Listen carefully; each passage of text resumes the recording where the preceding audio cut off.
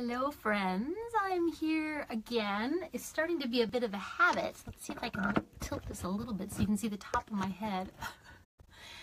Um, I'm just gonna wait to see if a few people show up and then I'm gonna start talking a little bit about fear.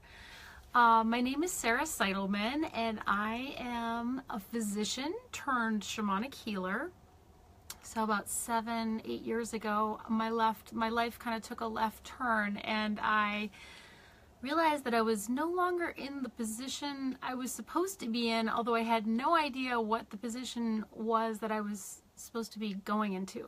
so there was a period of confusion there. But there's no confusion today. Today I'm here and I want to talk about fear because um, fear seems to be sort of one of the number one things that holds all of us back. Hey, Alyssa, welcome. Thanks for watching. Um, fear seems to be one of the main things that holds us back. I know that has been the case for me. Um, and fear is always a good sign too, because usually it means that you're pushing your edges, you're going out and trying something maybe um, new, maybe you're creating something new with your entrepreneurial business, or maybe you are trying something new in your intimate relationships, trying to put yourself out there in a new, more vulnerable way.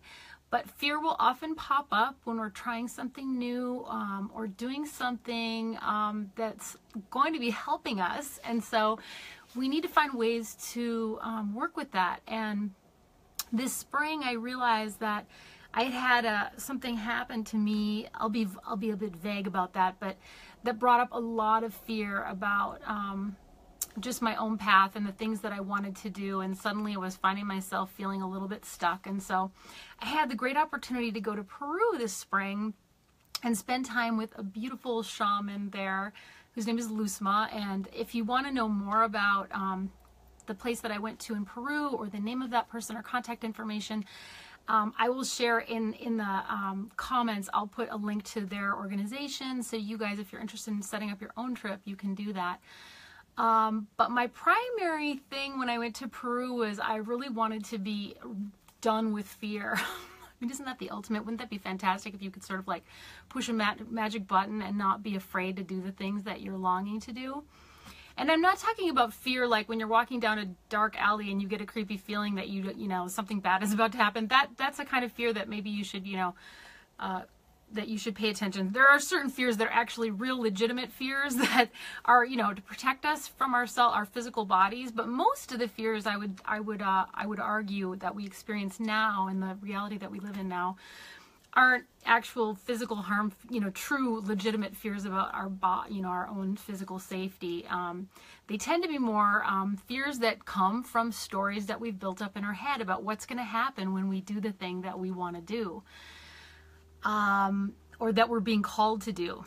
So anyway, I decided well, I was going to go to Peru and what was going to be my intention with this to work with this beautiful shaman. And I decided that it was time, it was high time that I got rid of all my fear because wouldn't that be a good idea? and so as we traveled, we flew into Peru and we, um, as we traveled to her little town where she lives, we stopped at this place and looked at the mountain and we picked up these um, sacred coca leaves that somebody gave to us. And, you know, we were basically instructed that in order to have our to, to begin this process we were going to put our prayers into this coca leaf because coca is a thought to be a sacred messenger of these leaves. And so that when you blow your intention into the leaf you know that the spirits or the universe or god or the creator who however you want to you know talk about it will hear these prayers. And so mine was i want to be rid of fear. And so we ended up during the time that we spent there we had a ceremony a medicine ceremony. Um, and if many of you may have heard about um, ayahuasca or other sacred plants that seem to be making a resurgence across the world right now um, peru is one of the places where those traditions are very much alive. And um, the tradition that this particular shaman we were working with in one ceremony was san pedro which is a, a cactus. Again a, a sacred plant that um, has become, you know, was a wise, was and is a wise teacher for many people. And if you've ever stood by a, you know, a 300 year old oak tree, um, you've probably felt some of the wisdom that the plants and trees share with us, you know. Um, without ingesting anything. um, but so anyway, we went into this beautiful ceremony uh, in a space out in the mountains in the wild. So it was very quiet, very peaceful. And we had a ceremony was a ceremonial space was opened and then we ingested this medicine that was provided by the shaman and I got a lot of messages and I wrote all about my crazy experience. Um, a lot of unexpected messages, but some of them which made me laugh. And I wrote more about that experience in an article that I just published at Elephant Journal. So if you want to read more about the whole experience, um, I'll post a link to that too. But at the end of the day, I was sitting staring at this incredible mountain and I'm sure many of you know the power of being around beautiful mountains. Like there's just nothing like it. And I've always admired mountains, but I felt like I really had never truly experienced the, the spirit of a mountain until that day. And so under the influence of this, this medicine, which had been sort of talking to me almost like a loving grandfather all day, which sounds kind of odd, but that's all I can really explain to you but as I was, I'd gotten lots of information and lots of um, insights and lots of healing. Hi, Tracy, and hi, Christine, welcome.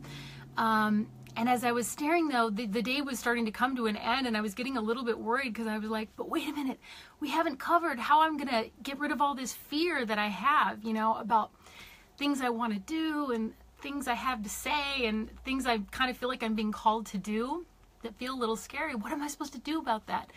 And as I was staring at this mountain, which was incredible, and as I was looking at the mountain, it was kind of almost like you could see um, the faces of warriors in it, and part of the mountain almost looked like a dragon. And I'm sure if you've ever, you know, if you've ever stared in nature long enough, you know, sometimes different images will pop out of the the rocks and the stones. You know that they truly have this alive component, and it was like that. And I said, kind of in a panic, I spoke to the medicine, to this grandfather that had been kind of accompanying me all day. I'm like, but wait, wait, before before we go today, what about my fear? And as I was staring at the mountain, this incredible mountain, the response came back loud and clear. Sarah, instead of being afraid, why don't you just be in awe? And I was like, whoa.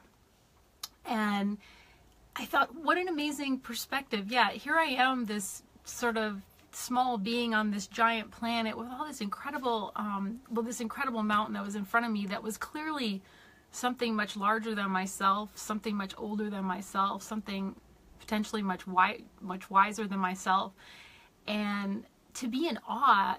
I was clearly in awe in that moment, so it really struck me as a beautiful teaching that I could share with other people.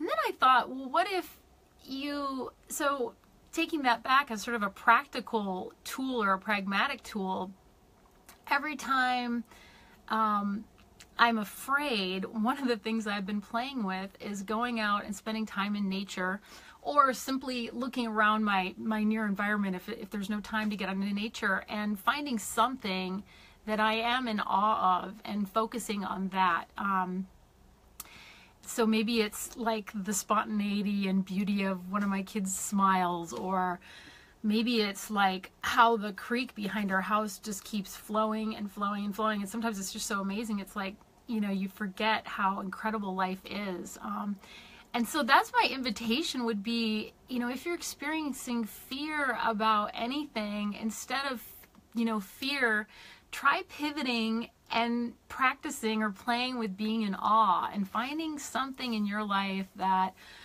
you are in awe because I think and you're in awe of because I think um, and that brings to mind things like you know prayer meditation you know connecting kind of with the oneness. Um, because it's from that state of that state of mind I think that we realize we're capable of so much more.